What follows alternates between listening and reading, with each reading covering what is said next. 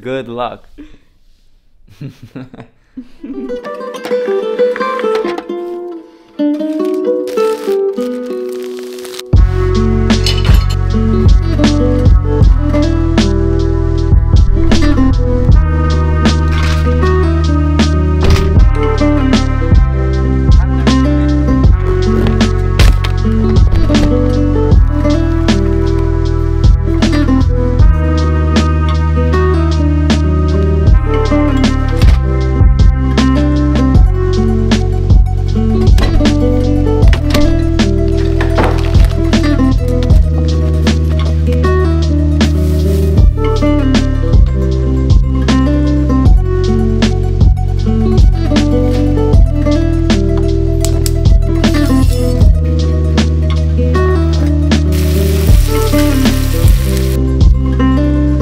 believe I have something to clarify with you guys.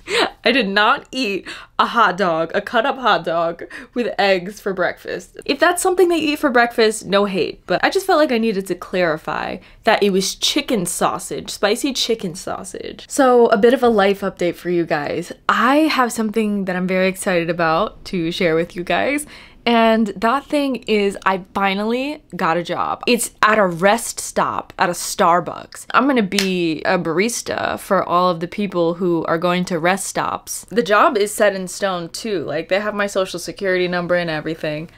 I am excited. There are so many gnats in here. I swear I kill at least three gnats per day.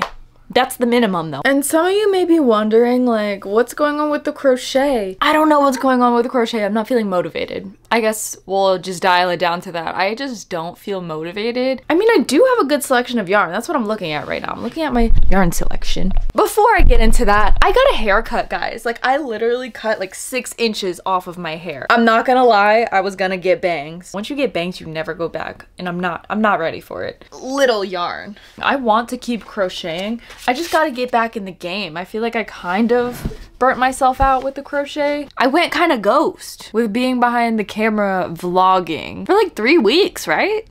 That feels like a long time because I love to vlog. I was vlogging way before YouTube. One day you guys will know about the vlogs before YouTube, but It's fucking nuts.